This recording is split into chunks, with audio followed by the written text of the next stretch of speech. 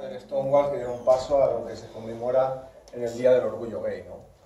A mí me impactó mucho una frase que dijo uno de los presentes que decía, que se llamaba Tommy Lanigan Smith, que decía, la policía no nos dejaba bailar.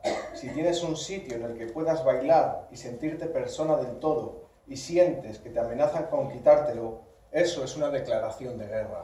Me pareció un verso brutal. Entonces algo me llamó a escribir desde mi heterosexualidad, raza blanca, sin, pero querer meterme en la piel un poco de lo que pasó allí, contar simplemente, empezó como algo poético, ¿no? Yo solo quería hacer un proyecto poético, pero cuando lo escribía, pues sí que noto que empiezan a cambiar muchas percepciones que tengo, empiezo a aprender bastantes cosas y me, yo quería sobre todo intentar transmitir la, la sordidez en la que vivían aquellas personas centrado sobre todo en las transexuales, que fueron las que empezaron la rebelión, que no saben si era una rebelión o un paso de baile.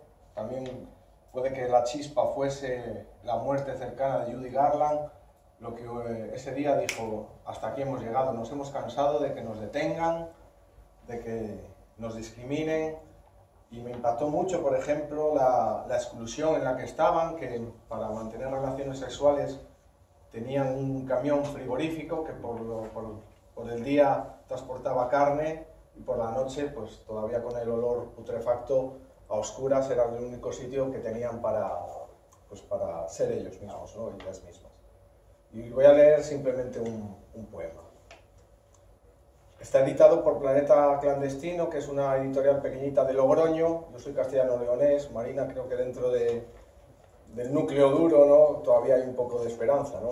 Que, podemos luchar. En los días de blanco, roto y negro, meamos de pie, en el váter, en la ducha o en las esquinas de las iglesias, cual ángeles caídos que profanan la casa del Padre.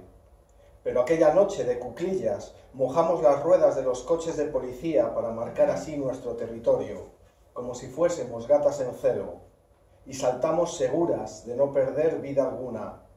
El tiempo se detuvo, parecíamos Simone Biles trazando un perfecto triple mortal hacia atrás. Los maricas que lo vieron dicen que la gesta fue aún más grande. Clavamos con tacones el aterrizaje. Los ángeles caídos recordamos todavía la espiral del vuelo en picado que aprenden las aves expulsadas del paraíso.